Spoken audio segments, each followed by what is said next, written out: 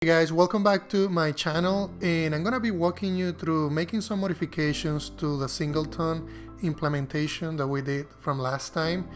I actually found that the way that we implemented it didn't follow the Unity standards and also if I hit play I'm getting this warning that says you're trying to create a mono behavior using the new keyword. So what I'm gonna do is I'm gonna actually make some modifications so that you know, if you're implementing a singleton, you're implementing it the right way. So I'm gonna go and open up the game manager. And let's give it a second. And just to kind of walk you through what we were doing before, we were creating a private static game manager instance, which is completely fine. And we also were creating, a, we created a property called instance. We also were checking to see if the instance was null and then creating a game manager explicitly. This is what Unity is complaining about. You actually never want to create an object that, that way, especially when it inherits from mono behavior. You instead want to create a game object and then attach the component to that game object. So let's make some changes so that we follow Unity standards. So the first thing that we're going to do is we're still going to check for if instance is null and then the next thing that I'm gonna do is I'm gonna check to make sure that I have that I don't have any objects of game manager already in the scene before I create it. So this is actually search for the entire scene and then determining if we have an object of time game manager already. The next thing that I'm gonna do is I'm still gonna check to see if it's null because if we found another instance, we still wanna know if we need if we can create a new one. I'm also going to create a new game up game object. And I'm to give this game object the game manager type name. Then we're to say instance equal game object and we're to actually add the component. So this is what I was saying that we need to follow as far as like the standards of Unity. So this is to add a component of type game manager to our game object. And then the last thing that I want to do is that I want to make sure that if we load a new scene, I don't destroy this game object. So we want to call the don't destroy on load to make sure that that doesn't happen. And then the last thing, I'm going to remove that line. I'm going to return the instance. So just to kind of walk you through, we're going to check to see if the current instance is null then we're going to do a search in the scene for any object types of Game Manager. Then we're going to check to see if the instance still null, meaning that we didn't find any instances of Game Manager. Then we're going to create a new game object. We're going to set the game object name to be the type name. Then we're going to use the game object type that we created it and assign a game manager object to it. And then we're going to make sure that we don't destroy that game object when we're loading it loading a new scene. Then after that, we're just going to return the instance. The next thing that I want to do is, this works great if you want to access that instance from basically another manager. So the but what if you want that instance to get created automatically when we assign it to another game object? So we can do that on the awake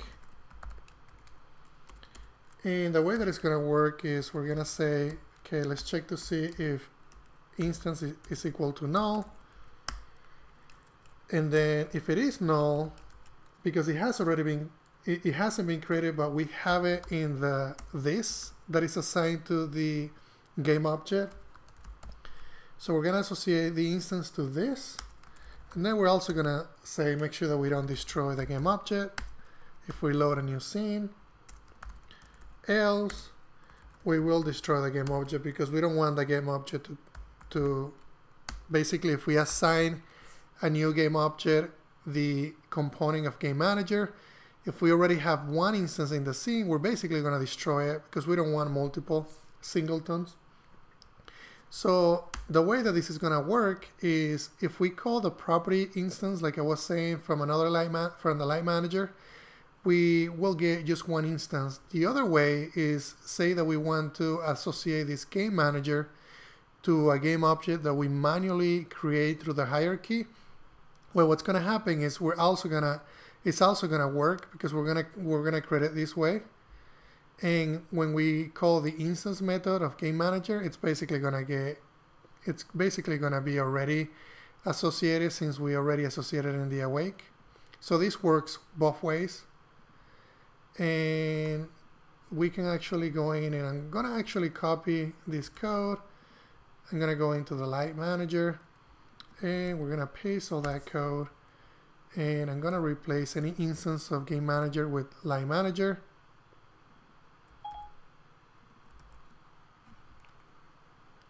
And the same thing here and all of that looks, looks great.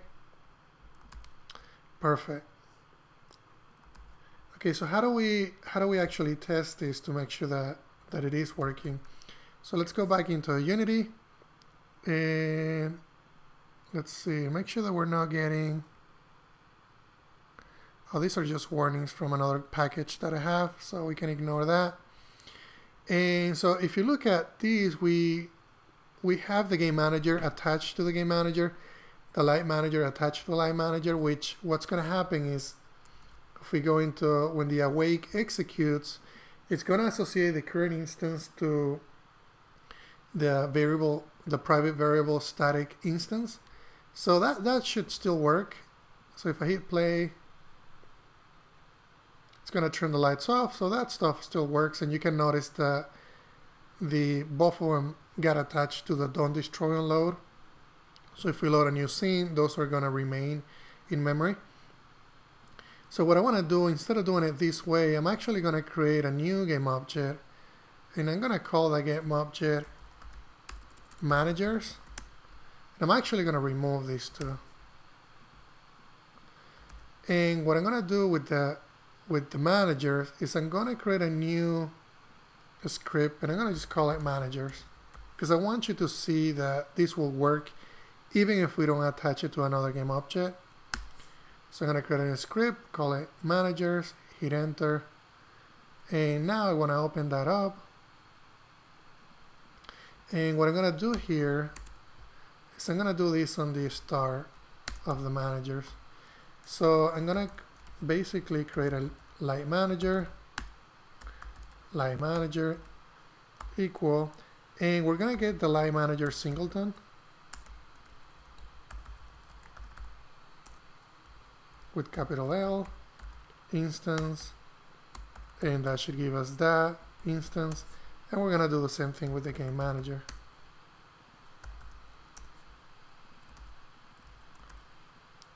And what I want to do is I want to go back into Unity.